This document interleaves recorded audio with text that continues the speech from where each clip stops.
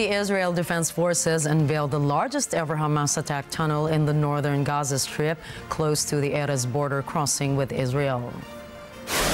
The Israel military said the tunnel was around 4 kilometers long and goes down 50 meters underground. Reports said the tunnel appeared to be wide enough for vehicles to pass through. The IDF disclosed that one shaft was found 400 meters from the Erez crossing.